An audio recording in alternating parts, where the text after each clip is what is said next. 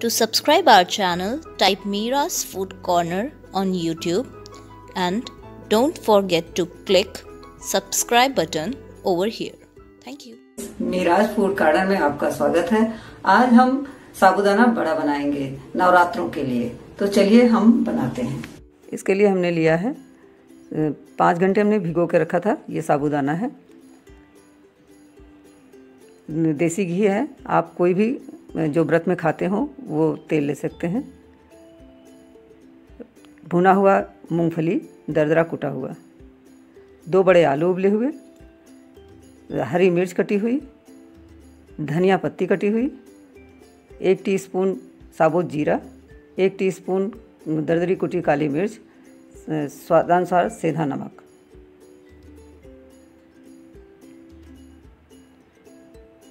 नींबू, थोड़ा सा।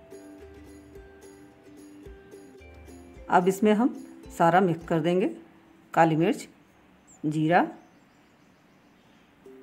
धनिया, नमक, मूंगफली दाना, मूंगफली के पाउडर इसको हम आलू को ग्रेट कर लेंगे।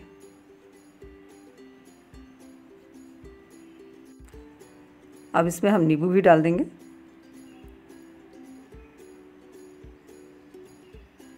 इसे अच्छी तरह से मिक्स कर देंगे।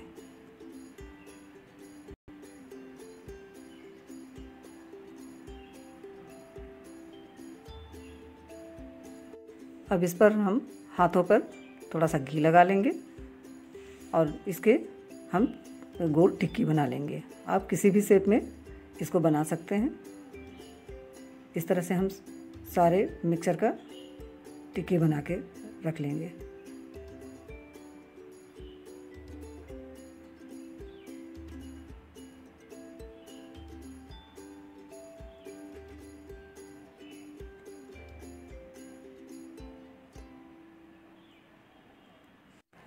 अब ये हमारी टिक्की बन के तैयार है और इसे हम सेलो फ्राई करेंगे।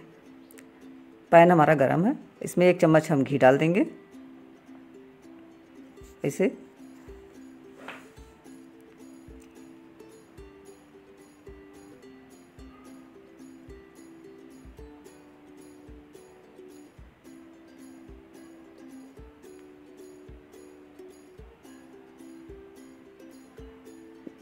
हम चेक करते हैं। घी हमारा गर्म हो चुका है।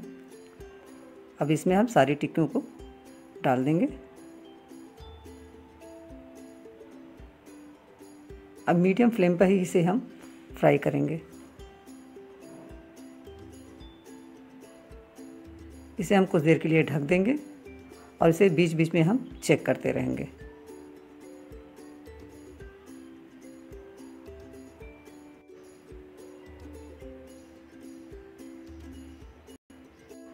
अब हम ये देखिए क्रिस्पी हो गया है। अब इसे हम दूसरी तरफ़ भी पलट कर सेकेंगे इसे थोड़ी देर फिर ढक देंगे।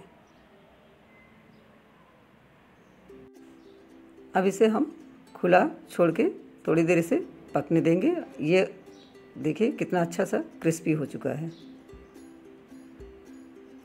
कुछ देर हम खुला ही पकाएँगे। अब व्रत के लिए साबूदाने बड़े तैयार हैं और इसमें हम बहुत ही कम घी लगा है। अगर आपको ये रेसिपी पसंद आई हो तो आप इसे लाइक सब्सक्राइब कमेंट करना ना भूलें। मेरे वीडियो के अपडेट के लिए बेल बटन को क्लिक ज़रूर करें। थैंक यू मिलते हैं नेक्स्ट वीडियो में।